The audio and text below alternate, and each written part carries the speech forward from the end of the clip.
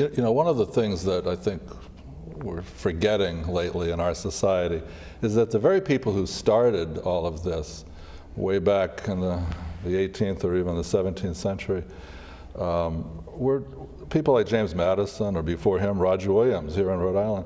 These were very devout, spiritual people who cared deeply about their own religious beliefs and the welfare of their fellow religionists and their own churches or whatever.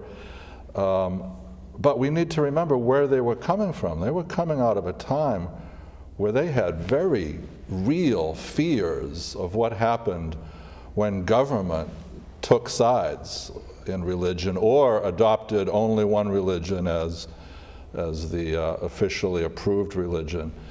They remembered the lessons from England, um, which we supposedly fought a revolution to become free from. Um, they may have remembered a Rhode Island woman named Mary Dyer who was hung on the Boston Common for the crime of being a Rhode Island Quaker and having the audacity to return to Boston when she was told Quakers aren't welcome there. That was at a time early in our history, before the Constitution, when the colonies still didn't really distinguish between government and religion.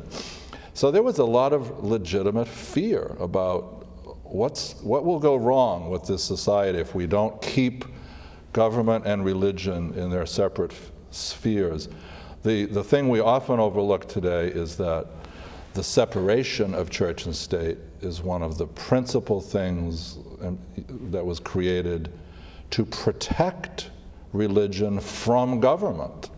It's also there to protect government doing its job from religion to keep them separate, but it's in the long run, it protects religion from government.